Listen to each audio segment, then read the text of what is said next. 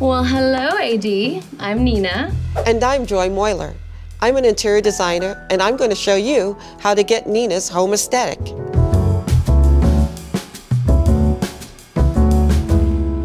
This is a Spanish Mediterranean home. The terracotta tile is the one that is definitely in keeping with Nina's aesthetic. It feels European, and I'm from Europe, so I wanted to also bring in my heritage a little bit. This particular tile is very, very similar to Nina's.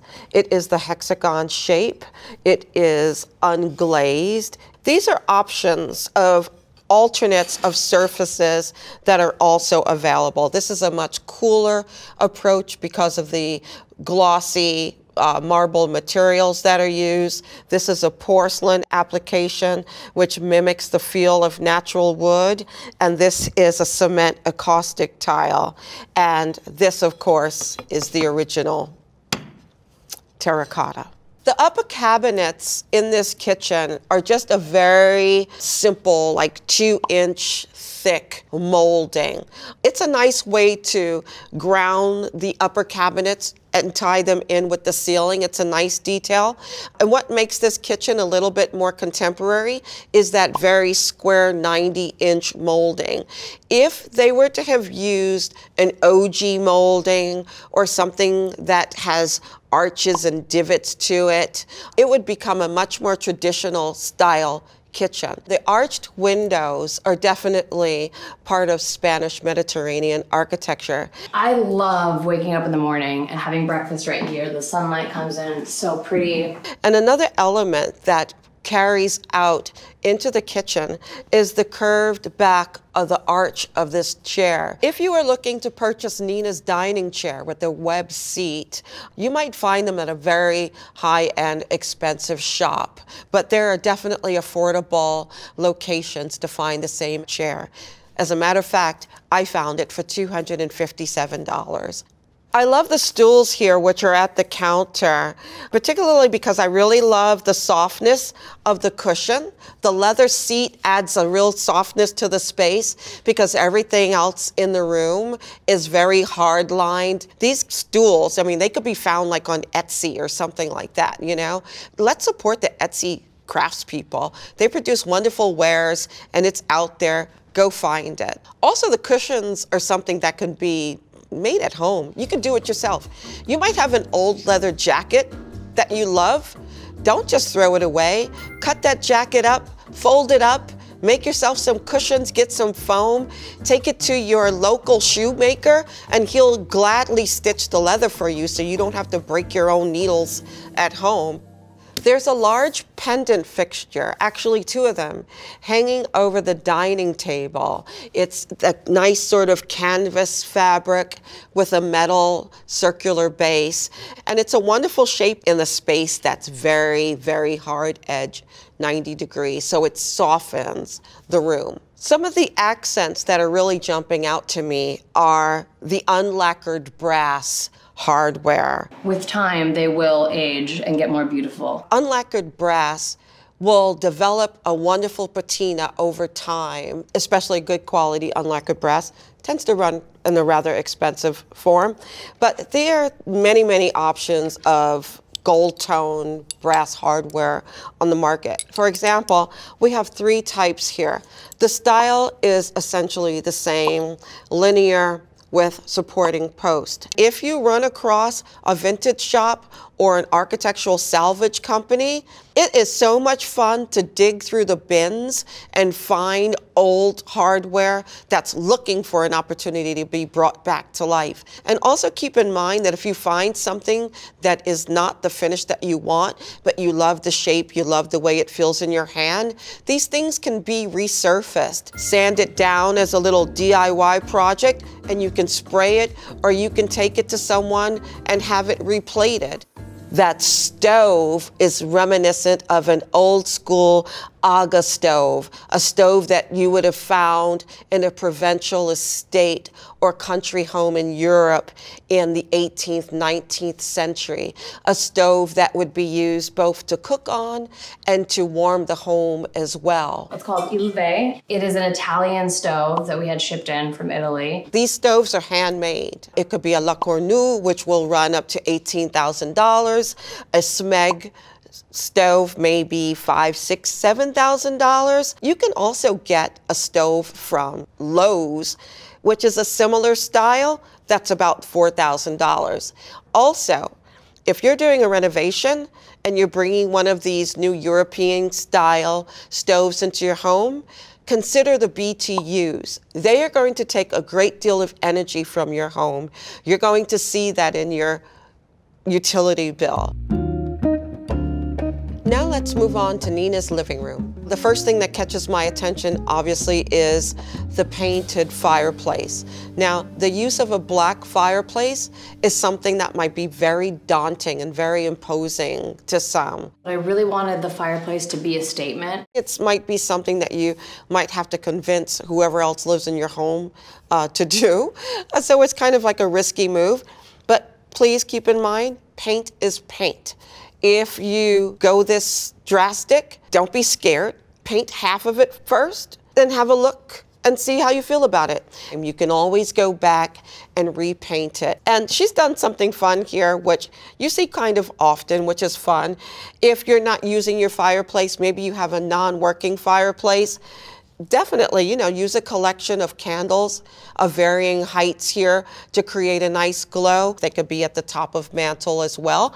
Actually, the ones in the bottom can be battery operated, so you don't have to worry about a pet knocking them over, and then having the real ones at the very, very top for safety, away from children and from pets. Oh, and as the day goes on, you get a nice, sexy glow. Who doesn't want a nice, sexy glow? One of the things that Nina has done here to tie in the black fireplace is she selected blackened drapery hardware as well. They're a very, very thin element in the room, that and the frame on the picture over the bar cart. So she's been very thoughtful about where she wants the palette to be used because it's a very minimal palette in the room.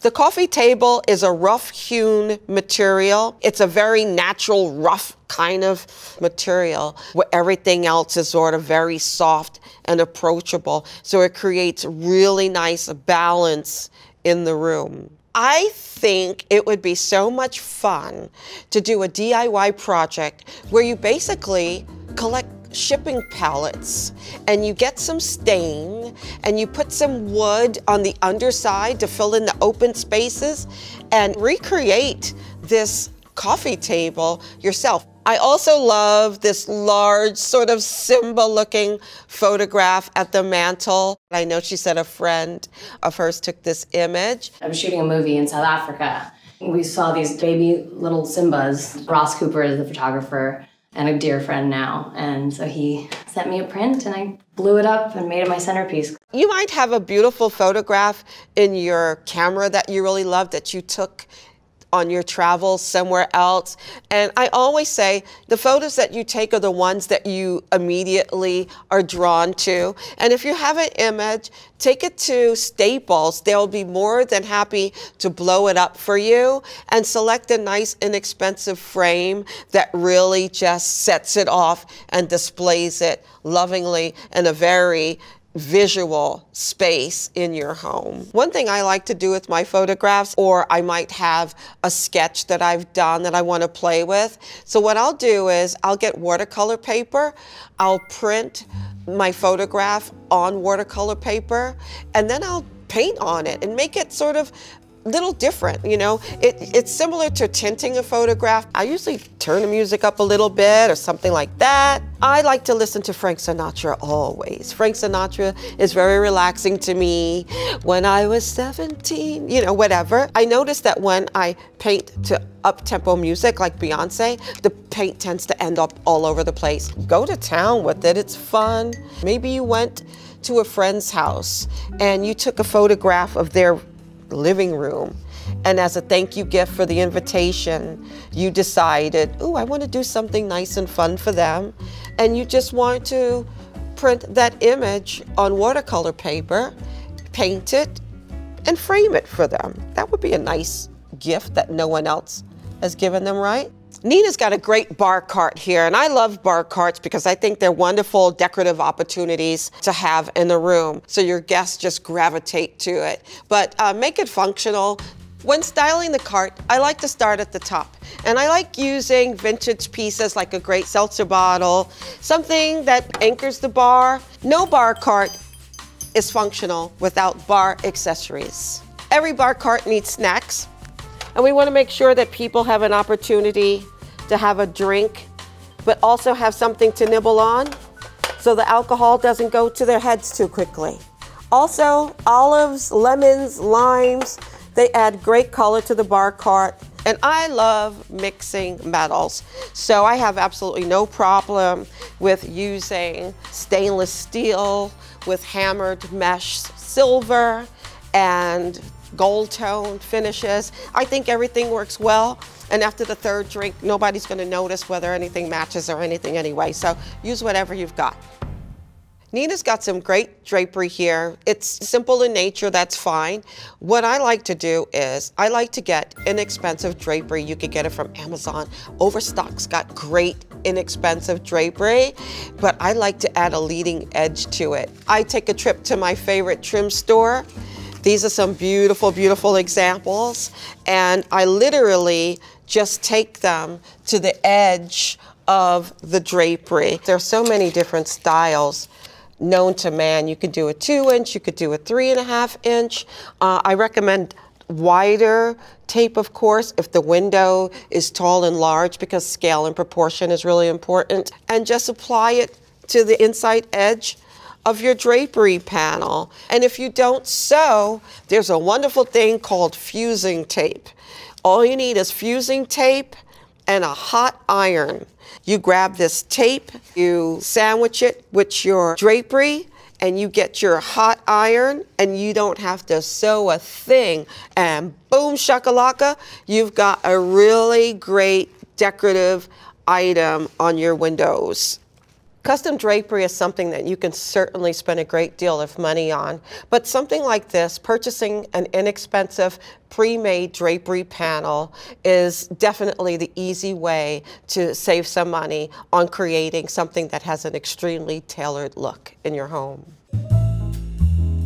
So I really, really love this dark color. It creates a wonderful, cozy envelope to enjoy a movie and sort of simulate that movie theater feel. And can you imagine just nestling in this big white sofa?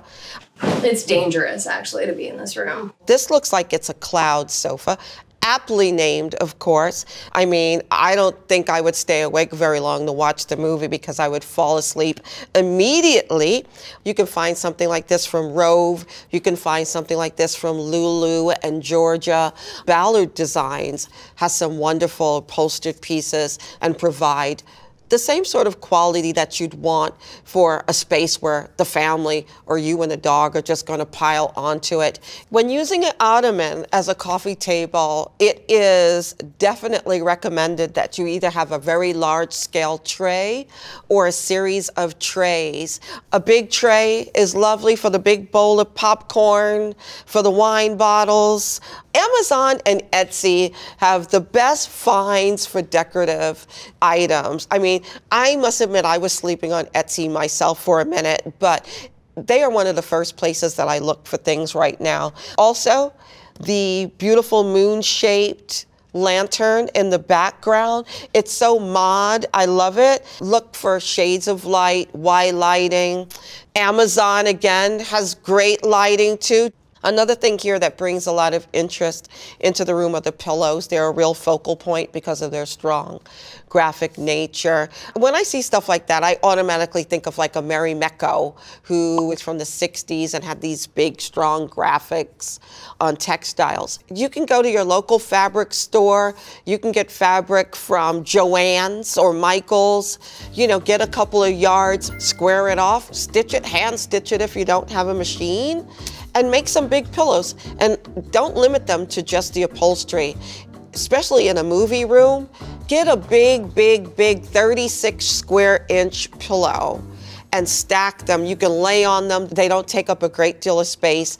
Another element in the movie room that I find really alluring to have is carpet that is soft under the foot. In the same way that you have this wonderful big cloudy sofa, you want your feet when they touch the ground to be on something that's supple and it's comfortable. Whether it's an area rug or it's wall to wall carpet being nice and plush, that means being at least three quarters of an inch thick.